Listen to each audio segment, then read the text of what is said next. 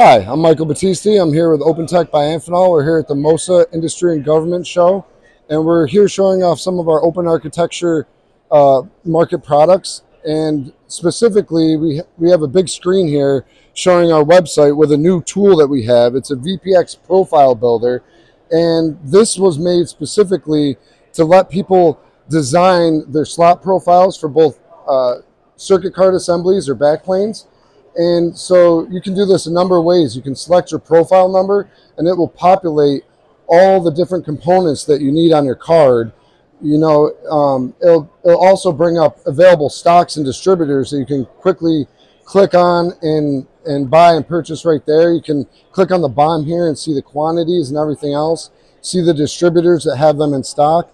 And, you know, it's just a great way that, that we have for engineers and and designers to be able to come in and design their cards and pick the open standards components that, that they need for, for the project.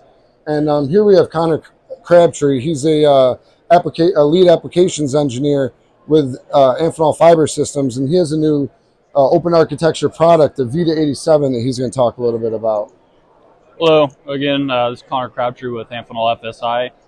Uh, we recently released the Vita 87, uh, which is a MT base mil circular connector. Uh, uh, supports up to four MT ferrules within a 38999 shell. Uh, it's supported by the OpenTech group by Amphenol.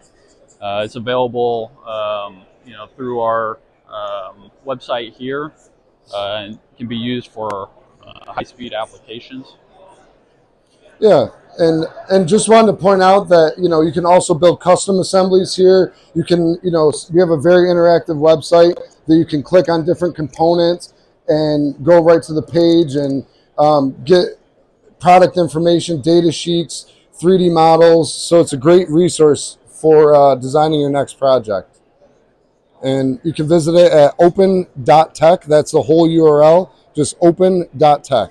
So let us know if, if you have any questions. There's contact information to, to uh, application engineers such as Connor that can help you out with any design needs or anything else you may need.